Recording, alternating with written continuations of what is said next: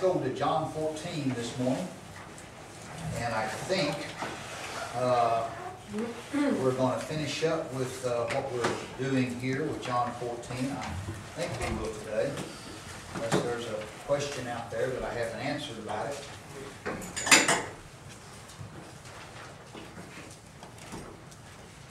And so we're going to uh, just read through it again. Begin at verse 1 and read down through verse 26. And We'll focus in on uh, verse 22, I think, today. I think we've got covered everything else, but I want to answer this question about, I want to talk about this Judas, who is not Iscariot. And uh, we'll talk about the 12 a little bit uh, as we have them in our Bibles. All right, John 14. Let not your heart be troubled. You believe in God, believe also in me. My Father's house are many mansions. If it were not so, I would have told you. I go to prepare a place for you, and if I go and prepare a place for you, I will come again and receive you unto myself, that where I am, there ye may be also. Whither I go ye know, and the way ye know. Thomas saith unto him, Lord, we know not whither thou goest, and how can we know the way? Jesus saith unto him, I am the way, the truth, and the life. No man cometh unto the Father but by me. If ye had known me, ye should have known my Father also, and from henceforth ye know him, and have seen him. Philip saith unto him, Lord, show us the Father, and it sufficeth us. Jesus saith unto him, Have I been so long with you, and yet hast thou not known me, Philip? He that hath seen me hath seen the Father, and how sayest thou then, Show us the Father? Believest thou not that I am in the Father, and the Father in me? The words that I speak unto you, I speak not of myself, but the Father that dwelleth in me, he doeth the works. Believe me that I am in the Father, and the Father in me, or else believe me for the very work's sake. Verily, verily, I say unto you, he that believeth on me, the works that I do, shall he do also. And greater works than these shall he do, because I go unto my Father. And whatsoever ye shall ask in my name, that will I do, that the Father may be glorified in the Son. If ye shall ask anything in my name, I will do it. If ye love me, keep my commandments. And I will pray the Father, and he shall give you another comforter, that he may abide with you forever. Even the Spirit of truth, whom the world cannot receive, because it seeth him not, neither knoweth him, but ye know him, for he dwelleth with you and shall be in you. I will not leave you comfortless, I will come to you. Yet a little while, and the world seeth me no more, but ye see me, because I live, ye shall live also. At that day ye shall know that I am in my Father, and ye in me, and I in you. He that hath my commandments and keepeth them, he it is that loveth me. And he that loveth me shall be loved of my Father, and I will love him, and will manifest myself to him. Judas saith unto him, not Iscariot, Lord, how is it that thou wilt manifest thyself unto us, and not unto the world? Jesus answered and said unto him, If a man love me, he will keep my words, and my Father will love him, and we will come unto him, and make our abode with him. He that loveth me not, keepeth not my sayings. And the word which ye hear is not mine, but the Father's which sent me. These things have I spoken unto you, being yet present with you. But the Comforter, which is the Holy Ghost, whom the Father will send in my name, he shall teach you all things, and bring all things to your remembrance, whatsoever I have said unto you. And so again, we're talking about familiar passages, dispensationally considered. We have spent some time here in John 14. And uh, just a bottom line thumbnail of, of John 14 is Jesus is just within a few days, hours of going to the cross. He's preparing them. He's telling them that he's going to go, but that he's going to send the Comforter. And when the Comforter comes, the Comforter will enable them to do things and to carry on. And uh, that he will come back again to get them and to receive them to himself. And so basically he's preparing them for that and, and giving them some encouragement. And while they really don't understand it all while he's telling them, then he, you know, he makes it clear, after I'm gone, then you'll understand what it is I'm trying to tell you. But he's preparing them for some troublesome times that they're going to be going through over the next few days. And of course, uh, again, that comforter that's coming is when the Holy Spirit of God, the Holy Ghost, is poured out upon them in that upper room. And you see that manifestation of the outpouring of the Holy Spirit, that comforter that's sent.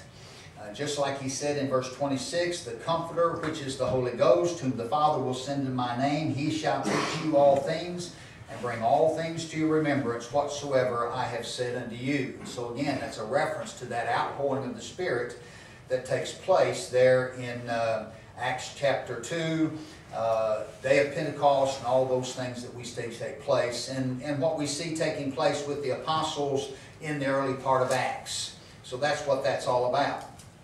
I think we've pretty well taken care of covering that uh, over our previous studies here at John 14. Is everybody good to go with John 14 on all that? Anybody got any confusion or questions about that? All right, very good. So I wanted to go in and take opportunity because it just it ran up a, a I won't say a red flag, but it did run up a flag because I said, well, here's something we could chase a rabbit with just a little bit. But at verse 22, where Judas saith unto him, not Iscariot, Lord, how is it that thou wilt manifest thyself unto us and not unto the world? And we've talked about these verses as we've studied through. We've talked about 23, 24. We've been through all that. We've made reference from previous verses in the chapter. But I wanted to talk about this verse 22 and just the idea of Judas uh, saith unto him, not Iscariot. When you start reading through the different list of the apostles' names and who they were, uh, sometimes it can get confusing.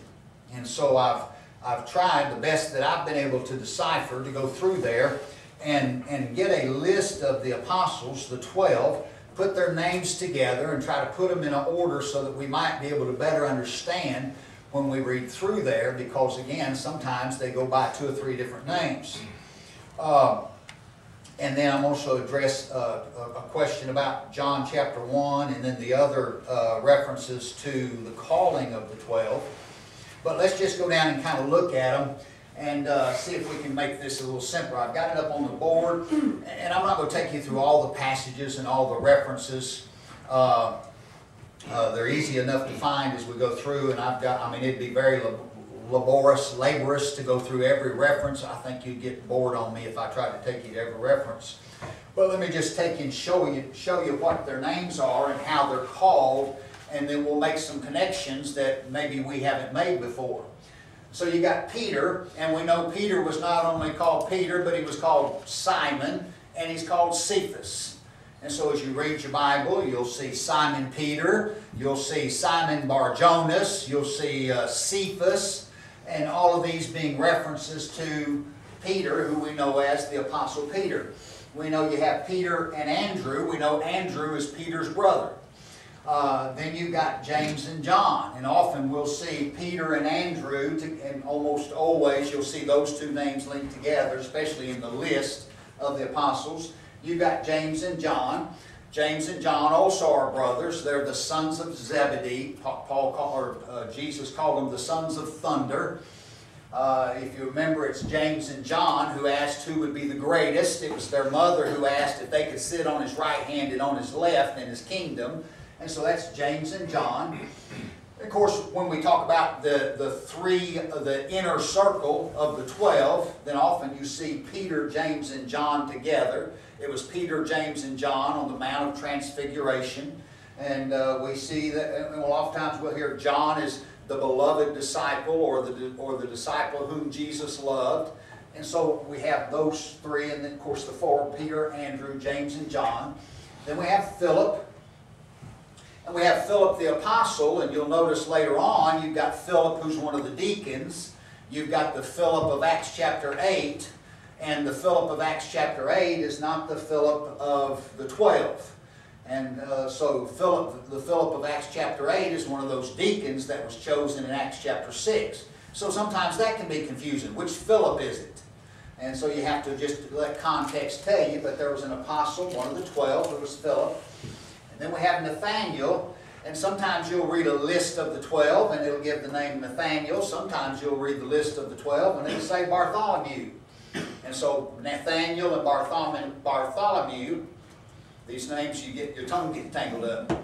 So Nathaniel and Bartholomew are one and the same, so two different names. And then you've got Thomas, and a lot with Thomas, we have, of course, we know of doubting Thomas, or it's Thomas, who is also called Didymus. It's interesting how they had these different names. And you have Simon, Simon Zelotes, or Simon the Zealot. And it tells us that Simon Zelotes, Simon the Zealot, was a Canaanite. And so from Canaan, uh, obviously a Jew, uh, one of the twelve, but Simon Zelotes, Zelotes the Canaanite. And then you have Matthew. Matthew, and this is, I learned something here that I had never put together before. We've got Matthew, who is also called Levi, who was the publican. Remember, he was the tax collector. And so you have Matthew, who is also called Levi. He's the publican. And Matthew is referred to as the son of Alphaeus in one place. And then you've got James, who is also called the son of Alphaeus. And so if we've got Matthew or Levi, the son of Alphaeus, and James, the son of Alphaeus, and sometimes we call him James the Less. And again, I'm straightening out some confusion here a little bit, even in my own mind as I've looked at this. When you have James the Less, uh, as I studied through, was why was he called the less or the lesser? Uh, it's the best I've been able to find from everywhere I've been able to read. He was called the less, and it's really humorous why he's called the less. It's because he was shorter in stature than James of James and John. So you got uh, James the less, not because he was less in importance or less in prominence or whatever as one of the twelve, but you got James the less, and he was the less simply because he was shorter than the other James. And so, you know, we, we have our horse folks, and at one time it was Sam, and then it was Ron and Laura's Sam, and we called him Little Sam, which he's bigger than I am now. And then we had uh, the other Sam, uh, a girl that rode with us, Samantha, or Samara, who we called Sam. And so it was confusion. So we had Sam and little Sam and the other Sam. Or, and so, uh, you know, so you had that. You got James the Less. So you got James and then you got the shorter James. And so that was how he was identified. He's also called a son of Alphaeus. So that makes me think then that James and Matthew must have been brothers. At least that what makes sense to me. Now, it's possible they were cousins or something, but if, if they're both identified as a son of Alphaeus, just like James and John are called sons of, Ze of Zebedee, it sounds to me like Matthew and James were most likely brothers. And then you've got Judas, not Iscariot, which is over here in our text of John 14.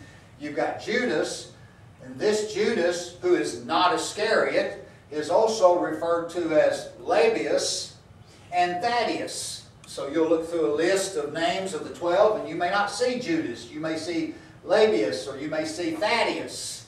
Well, again, all those are references to Judas. Well, Judas is also now called the brother of James, the son of Alphaeus.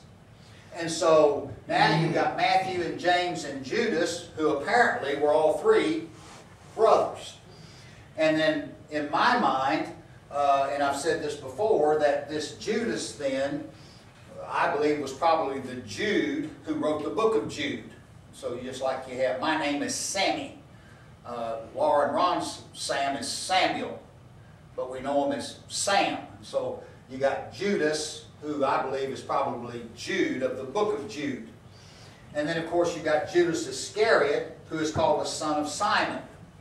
Now we know that Simon was a common name. You've got Simon Peter, I don't think Judas was the son of Simon Peter, do you? I don't think he was the son of Simon Peter. You've got Judas, son of Simon, and you got Simon Zelotes. I don't know if he was the son of this Simon or not. I don't know. It just says he was son of Simon.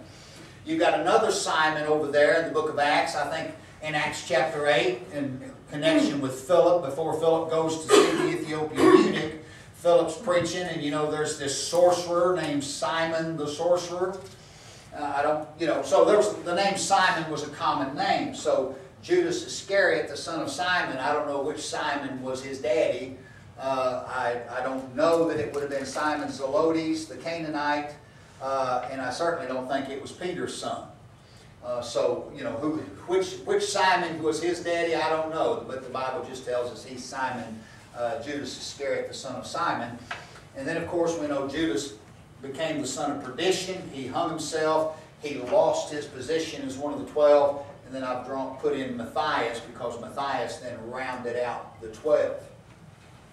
Now, the reason that's important is because when we read down through there, it can get real confusing as we read the different names of the 12 uh, because, like I said, we may not see Judas's name, we, but we may see Lebbaeus or Thaddeus.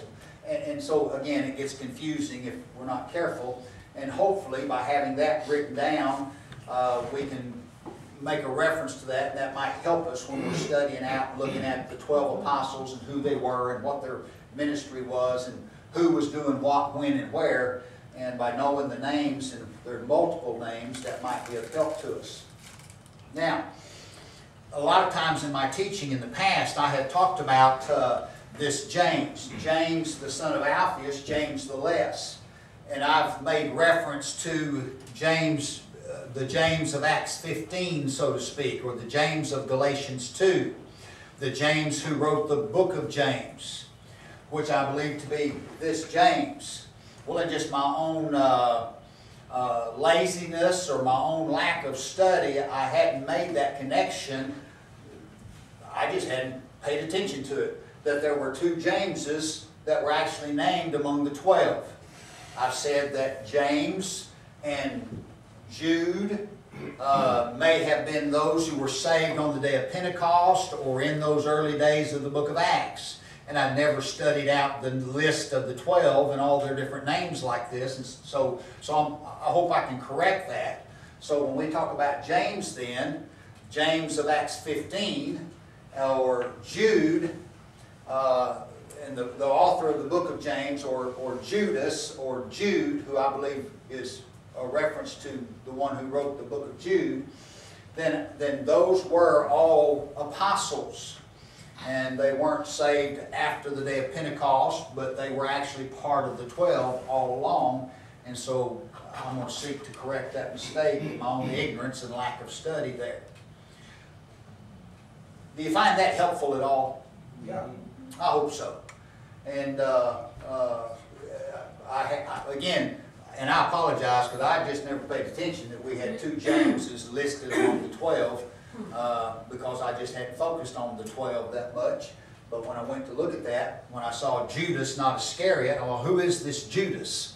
Uh, because you don't see that name listed among the 12 a whole lot. Uh, that's where we come up then we find out that that's this Lebbaeus or Labius and Thaddeus. And so it's interesting to put all those guys, put all those guys together. And so now, and then we start talking about what most of the time, and you'll see, you don't see Matthew listed a whole lot or Levi listed as the son of Alphaeus. You've got Matthew kind of standing alone. Then you got James the son of Alphaeus or James the Less, and of course that's to distinguish him from this James of James and John. So you got James the son of Alphaeus. It tells us which James he is. And then you got Judas the brother of James, which distinguishes him from Judas Iscariot. So it's important to uh, realize why they put that together. Anyway, I thought that was interesting. All right, now, when we were studying John chapter 1, go back there with me right quick. We're studying John chapter 1. And we'll go to verse 35.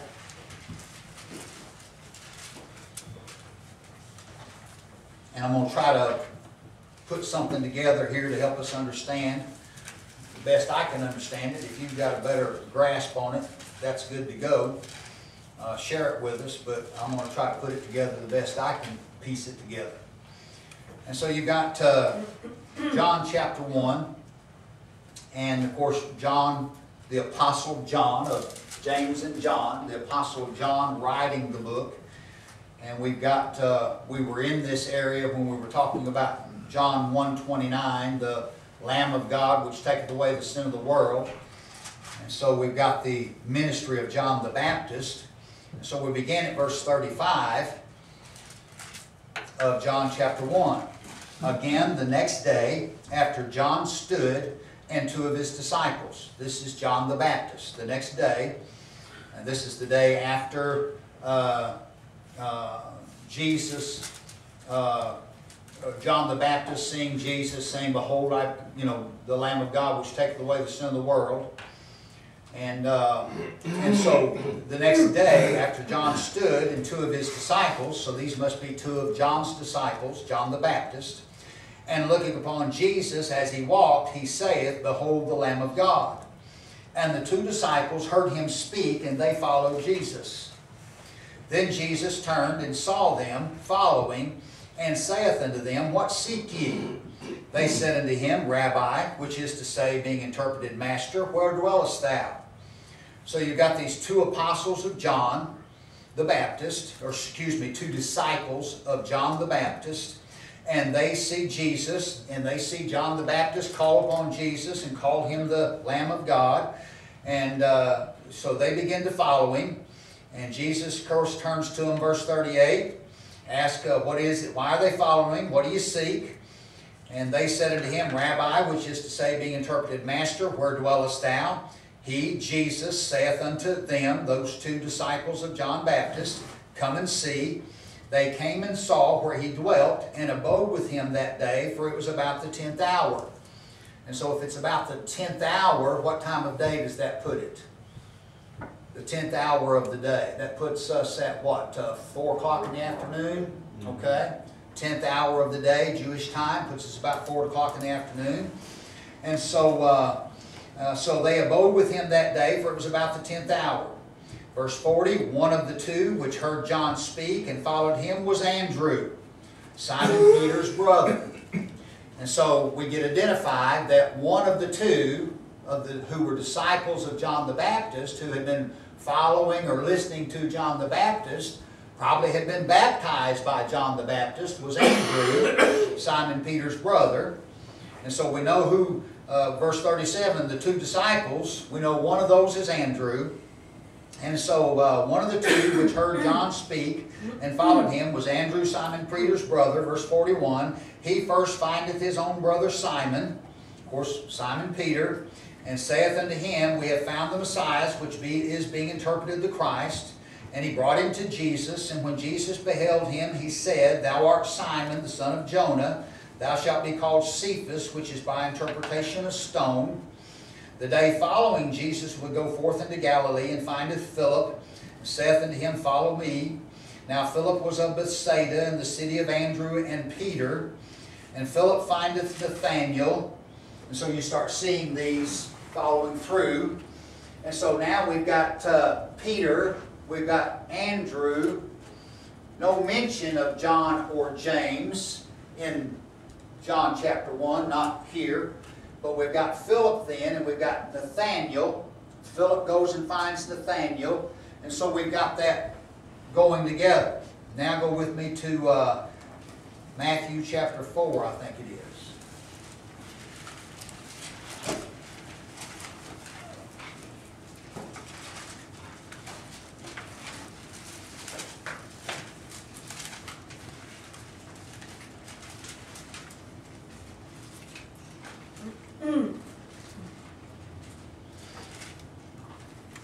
Verse 18. And Jesus, walking by the Sea of Galilee, saw two brethren, Simon called Peter, and Andrew his brother, casting a net into the sea, for they were fishers. And he saith unto them, Follow me, and I will make you fishers of men. And they straightway left their nets and followed him. And going on from thence, he saw other two brethren, James the son of Zebedee and John his brother in a ship with Zebedee their father, mending their nets, and he called them. They immediately left the ship and their father and followed the, and followed him. And Jesus went about all of Galilee, teaching in their synagogues and preaching the gospel of the kingdom and healing all manner of sickness and all manner of disease among the people. And so here we've got Jesus walking by the Sea of Galilee. He sees uh, Peter and Andrew, and he calls them. And a little bit farther there, he goes along and he sees uh, uh, James and John, and he calls them. Well, that's kind of confusing when you compare Ma Matthew chapter 4 and John chapter 1. And so I'm trying to put the scenario together. Let me see if I can put it in a way that makes sense to y'all. John the Baptist has his ministry. He's got folks who are listening to, responding. We know Andrew was one of those. I believe that John the Apostle was probably the other. And so James, Andrew and John, no doubt in my mind, if they're disciples of John, how would you be a disciple of John the Baptist and not have already submitted yourself to John Baptist baptism? Doesn't that make sense to you? And so I believe that they had submitted, that they'd heard John the Baptist there. They had responded in faith. They had been baptized by John the Baptist. Uh, Jesus, Jesus comes. Jesus is baptized of John. Uh, John says, Behold, John the Baptist says, Behold the Lamb of God. And these two disciples of John the Baptist, they see this going on with, with Jesus. And so they leave and they go uh, uh, following him and, and uh, they end up spending maybe an evening with, with him. And then the next morning they get up and they go back to their craft. They go back to fishing. And so the next day, Jesus is walking along and he sees them again. And he said, and he sees then Simon and, and Peter and Andrew, and he calls them because he already knows those two. He's already met those two. And then he sees uh, uh, uh, John, and he sees John, and so he's already met John. And he sees John and his brother James, and they're there with their brother. We other passages tell us that James and John and Peter and Andrew they all work together in the fishing business there. And so he sees them, and that's when they begin to follow him. And so where I'm trying to go is that what we see take place in John chapter 1 probably happened the day before or a couple of days before what we read in Matthew, Mark, and Luke when we see the calling of Peter and Andrew, James and John as it's recorded in Matthew, Mark, and Luke. Does that work for everybody? Does that make sense? It's the only way I can make sense of it in trying to understand. One thing I know when I approach my Bible, are there any contradictions? No, there's no contradictions. So when I have one telling of a story in John that reads different than it reads in Matthew, Mark, and Luke, then I have to step back and try to put together a scenario of what could have happened. And so as I put the scenario together, then it looks like that it's John and Andrew who are disciples of John Baptist who see Jesus first. And it does say they went to his house and they abode with him, but it doesn't say that they followed him at that point. You can go back to John chapter 1. It doesn't say they began to follow him at that point. They, they meet him, they spend an evening with him, uh, they call him rabbi. Uh, they, they've heard the testimony of John the Baptist concerning him, the Lamb of God which taketh away the sin of the world. It catches their attention. The next morning they get up. Of course, it, it tells us Andrew goes and finds Peter and says, Come meet this Jesus. And so that takes place. But it looks to me like the next morning they get up or whatever and they go back to fishing. And that's when we pick up the story of, that we read in Matthew, Mark, and Luke about uh, uh, uh, Peter and Andrew, James and John then leaving their nets and leaving their trade, leaving their craft, and actually beginning to follow Jesus as uh, his disciples doing that. Okay. Everybody good to go there? Questions about that? That's the best I can make sense of it. And if you read it, study it, and you come up with something else, praise the Lord, come share it with us next Sunday. Or if you've got light today, share it with us today. But uh, that's the way that I put it together that makes sense to me. Okay. Does that answer any questions maybe? Hopefully it does. Neither one of these Jameses are the half brother of Jesus. Say again? The half brother of Jesus,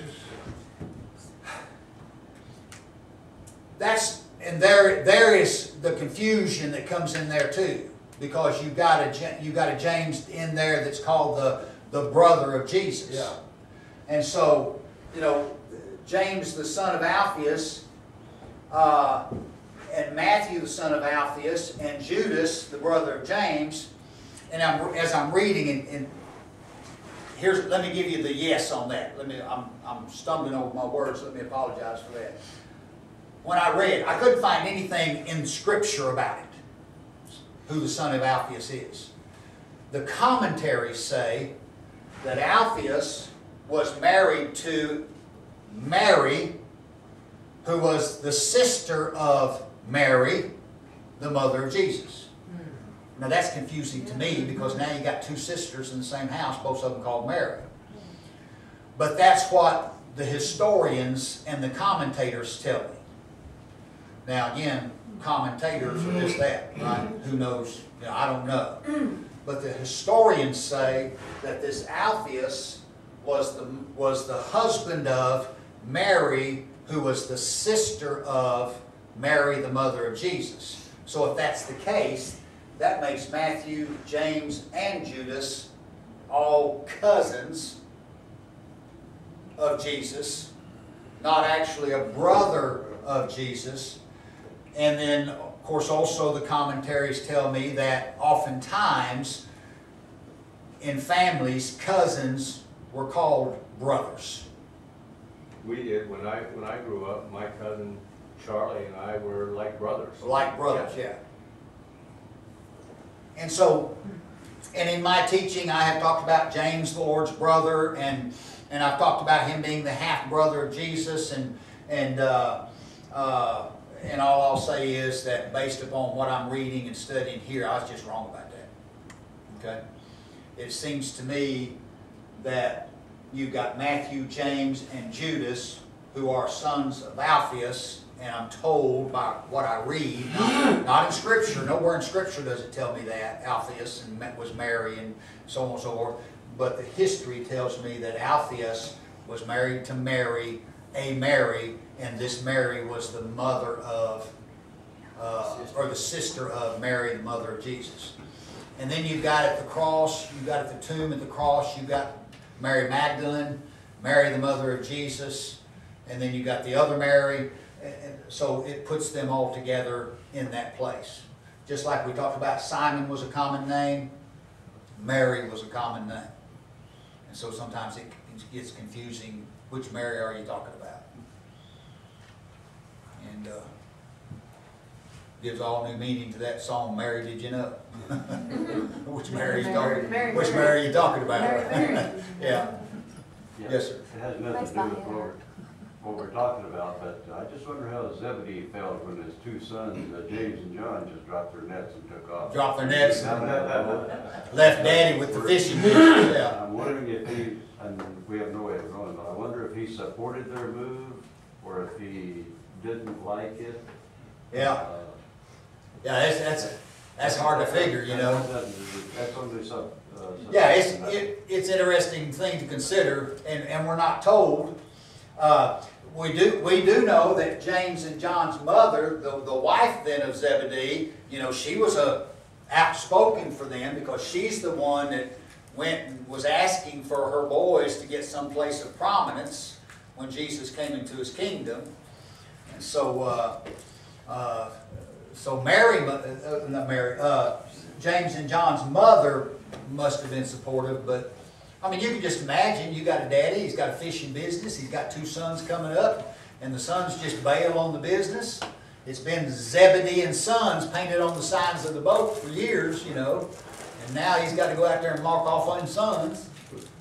Uh, so, you know, it's, uh, yeah, it'd be a tough situation. Since we're chasing rabbits, I've always wondered why John is referred to as the one that Jesus loved.